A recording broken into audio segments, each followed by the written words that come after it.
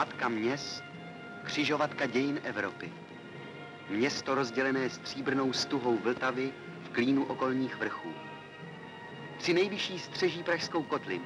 Hračany, odkud vládli lidu knížata a králové, staroslavný, mnoha pověstmi a bájemi opředený, romantický Vyšehrad a mohutný Vítkov, památník svobodného lidu, lidu, který po slavném vítězství na této hoře sám vzal vládu do svých rukou.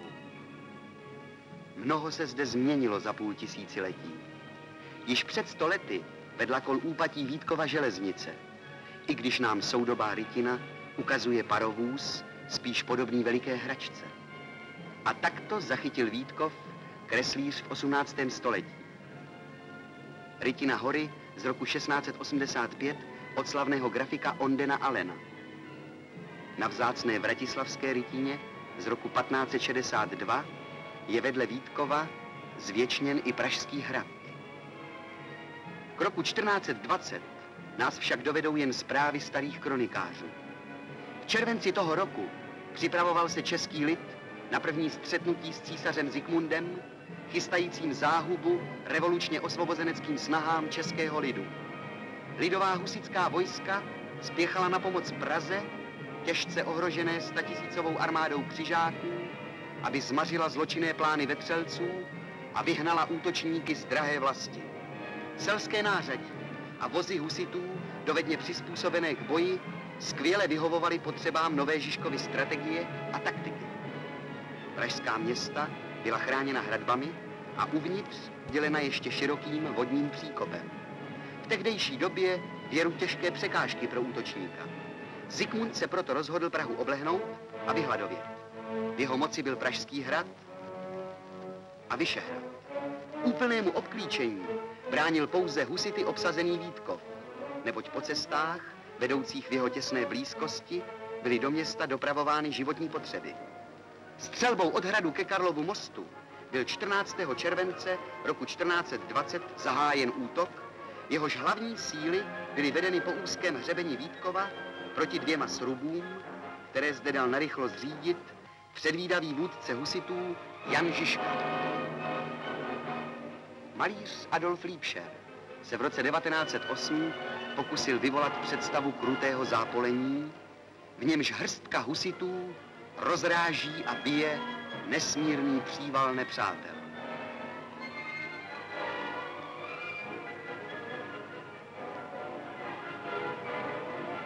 Pravou chvíli došly posily od horské brány, které vpadly jako hrom útočníkům do boku. A nesmírná přesila lupičských křižáků brzy zakolísala. Propadla z matku a pokud mohla, zběsile prchala. Boj rozhodnut. Vítězně zavlál nad Vítkovou a významu tohoto skvělého českého bohatýra usilovala po mnoho let řada našich umělců sochařů. Byli to zejména Šturza s Kotěrou, Březa, Kofránek, Bruha, Dvořák a jiní. Zvolen byl návrh Bohumila Kafky. Sochař vycházející z alšovských tradic pracoval na něm plných devět let. Z ateliéru ve váze 160 tisíc kilogramů bylo mistrovskou ukázkou skvělé odborné zdatnosti a vyspělosti našich dělníků kovolitců.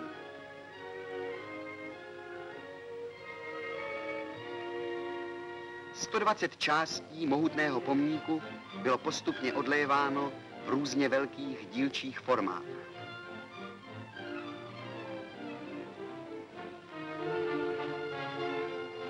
Zakouřené atmosféře slévárny, v žáru rozstaveného kovu, vznikalo jedinečné monumentální dílo, křtěné při svém zrodu potem dělníků.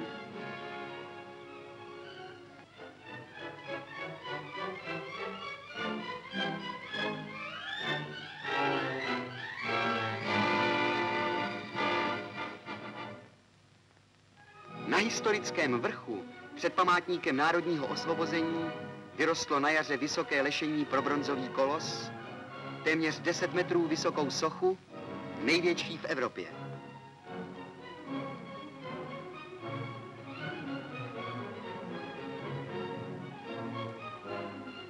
Těžké mnohometrických centů vážící díly, pečlivě očištěné a opracované, byly dopraveny k patě pomníku, kde na nich byly provedeny poslední úpravy. Odtud pak byly opatrně zdvihány mohutným elektromotorem na lešení a pomocí ručních kladkostrojů přesně usazeny na stanovená místa.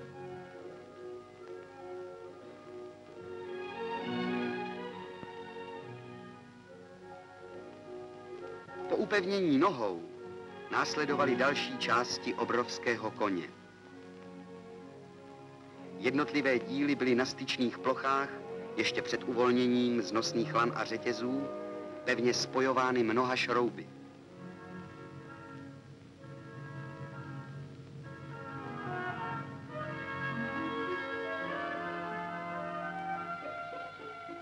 Vzhledem k obrovitým rozměrům sochy bylo třeba zvláště zajistit její pevnost a stabilitu.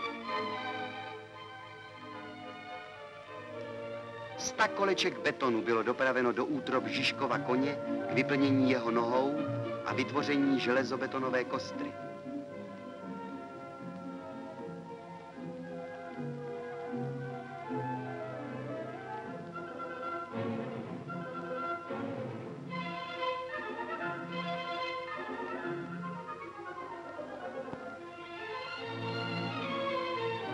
Upevnění hlavy koně ze spodu na mohutný krk s bohatou hřívou bylo velmi nebezpečnou prací, při níž malá chyba nebo opomenutí mohlo znamenat zřícení těžkého kusu i lešení. Po několik měsíců zápolil soudružský kolektiv dělníků mezi nebem a zemí s těžkým kovem.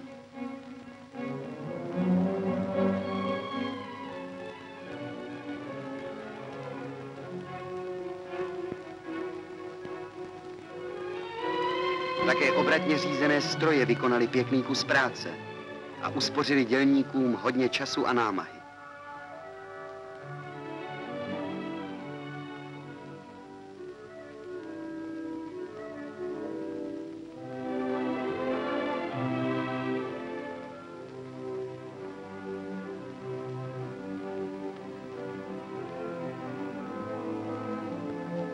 Nasazením Žižkovy hlavy skončila hlavní práce dělníků. Práce značně nebezpečná, vyžadující vedle odborných znalostí a mnohaletých zkušeností i mimořádné opatrnosti, svědomitosti a přesnosti. Po smontování sochy došlo k posledním úpravám. K vyhlazování styčných hran jednotlivých dílů, k broušení, leštění a impregnování povrchu zvýšení odolnosti vůči nepříznivým vlivům počasí. A tak tento pomník, symbol boje za lepší, spravedlivější řád, vedle svého vlastního poslání podává i přesvědčující důkaz vysoké hodnoty práce našich dělníků a umělců.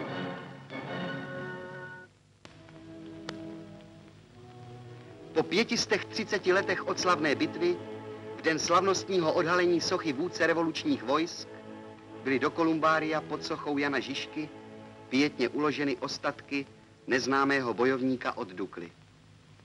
Husická tradice našla své pokračovatele v pokolení bojujícím v Sovětském svazu, v partizánech, v bojovnících slovenského národního povstání i ve slavném povstání pražského lidu.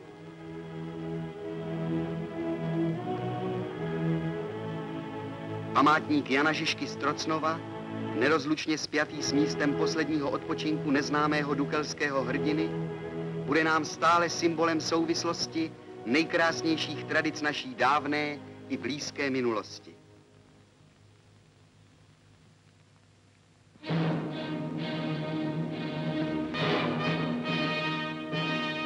Ministr národní obrany, soudruh doktor Alexej Čepička, připomněl ve svém projevu, že to byl ruský lid, který zahájil boj proti vykořišťovatelům dříve, než český lid mohl sám navázat na slavnou husickou epochu novými vlastními činy. Urputní zápas o nastolení vlády Sovětů se v mnohem podobal boji Žižkových vojsk a proto se říjnová revoluce stala tak blízkou srdci i mysli českého pracujícího lidu. Žižkův pomník je symbolem hrdinství a vítězství. Stělesňuje muže, který z lidu vyrostl a čerpal z něj svou sílu jako mohutný kmen svými kořeny z širokého okruhu země. Z tvrdého kovu je zbudován a tvrdým kovem znějí slova manifestu, kterým se husité obrátili na císaře Zikmunda. Jež to nikoho není a nikdy nebylo, kdo by pravdu potlačil, marně králi smrtelný, usiluješ se svými vratkými knížaty usmrtiti pravdu nevyhladitelnou a nesmrtelnou, která přečí všechny syny lidské silou, znešeností a důstojností. Tato hrdá slova našich slavných předků jsou i dnes výstrahou všem nepřátelům pokroku, svobody a sociální spravedlnosti, všem rušitelům socialistického budování naší vlasti. Její klid a mír zajišťuje naše lidově demokratická armáda se slavnou husickou tradicí, jejímž duchu bude v případě potřeby po boku bratrské sovětské armády bojovat a vítězit ve jménu pravdy, spravedlnosti a pokroku, ve jménu nesmrtelného Jana Žižky Strocnova. thank you